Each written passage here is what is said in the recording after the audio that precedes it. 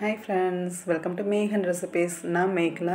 இன்றைக்கி நம்ம இந்த வீடியோவில் வந்து என்ன பார்க்க போகிறோன்னா சூரட்டி வறுவல்.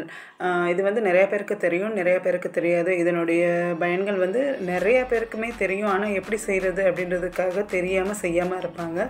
வாங்க இந்த வீடியோவில் இதை எப்படி வந்து க்ளீன் பண்ணுறது எந்த மாதிரி செய்கிறதுன்னு பார்க்கலாம். சுவரொட்டி பார்த்திங்கன்னா இந்த மாதிரி தான் இருக்கும். பார்த்துக்கோங்க.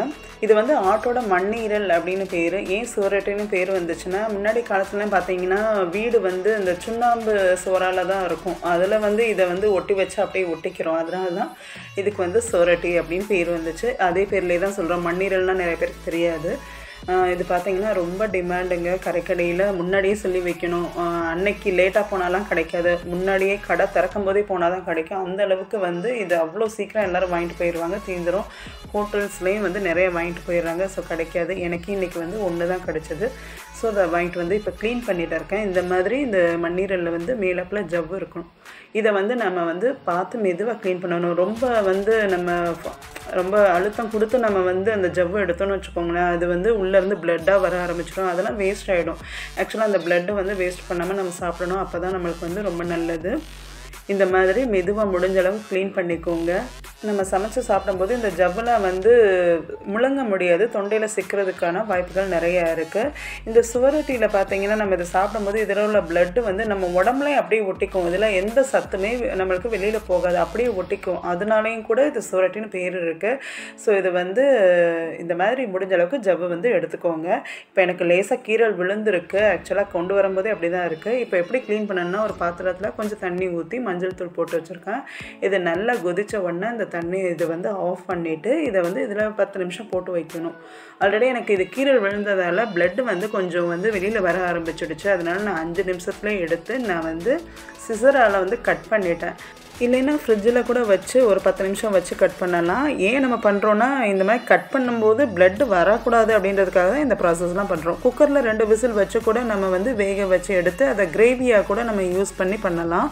குழந்தைங்கள மட்டும் பக்கத்தில் வச்சு பண்ணாதீங்க. அப்புறம் சாப்பிடாம போயிடுவாங்க. சிசர் யூஸ் பண்ணும்போது அதிக அளவு blood வேஸ்ட் ஆகாமல் நம்ம தவிர்க்கலாம். வேறு எந்த அயன் ரிலேட்டட் மெடிசன்ஸ் வந்து எடுத்துக்க தேவையே இல்லை. வாரத்துக்கு வந்து ஒரு தடவையாவது இதை சாப்பிடுங்க. ரொம்ப நல்லது. இப்போ நான் வந்து ஒரு இரும்பு கடையில் வந்து கொஞ்சம் எண்ணெய் ஊற்றி ஒரு டேபிள் ஸ்பூன் நெய் விட்டுக்கிறேன். இது நெய்யில் வந்து வதக்கி சாப்பிடும்போது டேஸ்ட் வந்து அவ்வளோ நல்லாயிருக்கும் இன்னொரு முறையில் பண்ணுவாங்க. இப்போ பாருங்கள் இதில் நான் கொஞ்சம் வெங்காயம் பெரிய வெங்காயம் கட் பண்ணி வச்சுருக்கேன். ஒரு பெரிய வெங்காயம். அதை வந்து சேர்த்து நல்லா இதை வந்து வதக்கணும். ஒரு ஃப்ளேவருக்காக கொஞ்சம் வந்து கருவேப்பிலை வந்து சேர்த்துக்கலாம். இல்லைன்னா வெறும் ப்ளைனாக இருக்கும். இந்த கருவேப்பிலெலாம் சேர்க்கும்போது நல்ல வாசனை வந்து கொடுக்கும். உப்பு வந்து பார்த்து சேர்த்துக்கோங்க. ஏற்கனவே மண்ணீரல் வந்து கொஞ்சம் உப்பு சுவையில் இருக்கும். அதனால் உப்பு வந்து பார்த்து சேர்த்துக்கோங்க. இப்போ அது வெங்காயம் வந்து நல்லா கொஞ்சம் கண்ணாடி பதத்துக்கு வதங்கினதுக்கப்புறம் இந்த மண்ணீரல் வந்து போட்டு நல்லா இதிலையே தான் வந்து வதக்கணும். வேறு ஒன்றுமே வேலை கிடையாது இதில். இதே நீங்கள் கிரேவி மாதிரியும் பண்ணலாம். நான் சொன்ன மாதிரி குக்கரில் வேக வச்சிங்கன்னா அதை கட் பண்ணி கொஞ்சம் தக்காளிலாம் சேர்த்து இதை சேர்த்து அந்த வேக வச்ச தண்ணி ஊற்றி நல்லா அந்த மாதிரி பிரட்டி எடுத்துக்கணும். குழந்தைங்களுக்கு சின்ன வயசு வயசுலேருந்தே இதை கொடுத்து பழகுங்க பெருசாகிட்டாங்கன்னா ஒருவேளை இந்த டேஸ்ட் பிடிக்கலாம் சாப்பிட மாட்டாங்க. இது வந்து அவ்வளோ ஹீமோக்ளோபின் கண்டென்ட் வந்து நம்மளுக்கு கொடுக்கும் நம்ம உடம்புக்கு. சீக்கிரமாகவே ப்ளட் வந்து நம்மளுக்கு இன்க்ரீஸ் ஆகும்.